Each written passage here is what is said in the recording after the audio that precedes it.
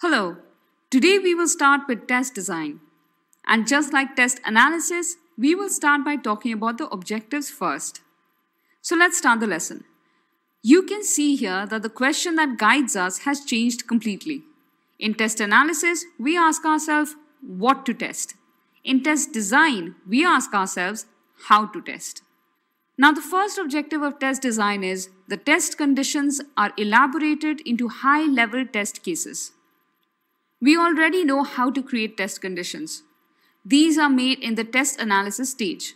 Using these conditions as input, we now have to create high-level test cases. That will be called a test design. Now, you remember this example.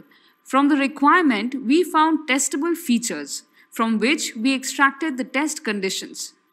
Now, in the design stage, we have to write a high-level test case which will address how to test these conditions.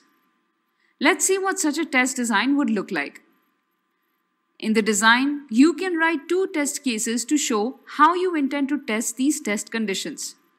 The first test case says, you have to switch on power, then open the door, then check if light is on, then switch off power.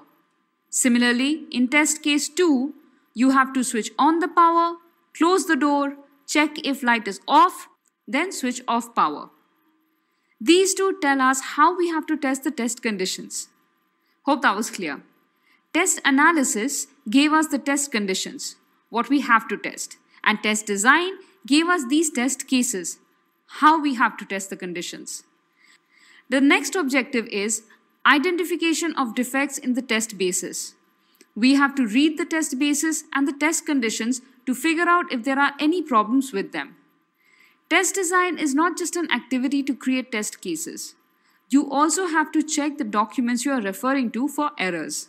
And if you find a mistake, then you have to inform the analysis team that something is missing or inaccurate here. And that's that. Until next time, happy testing.